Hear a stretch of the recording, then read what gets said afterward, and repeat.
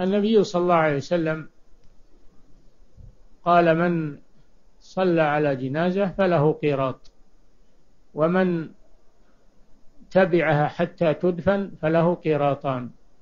يعني من الأجر. من اقتصر على الصلاة على الجنازة فله قيراط من الأجر. ومن أضاف إلى هذا أنه شيعها وتبعها حتى تدفن فله قيراط آخر. يجتمع له قيراطان واحد عن الصلاة وواحد عن اتباع الجنازة وحضور دفنها. والقيراط مثل الجبل العظيم. القيراط الواحد يزن الجبل العظيم. يحصل لك قيراطان كل واحد مثل الجبل من الأجر. هذا فضل عظيم. خير كثير.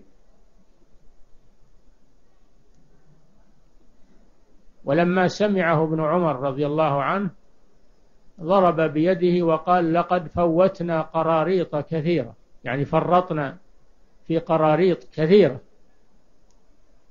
فهذا فيه الحث على الصلاة على الجنائز واتباع الجنائز وتشييع الجنائز وقد مر بكم أمس في الحديث إذا مات وإذا مات فاتبعه أو فاتبعه. إذا مات فاتبعه يعني شيعه. هذا من حق المسلم على المسلم.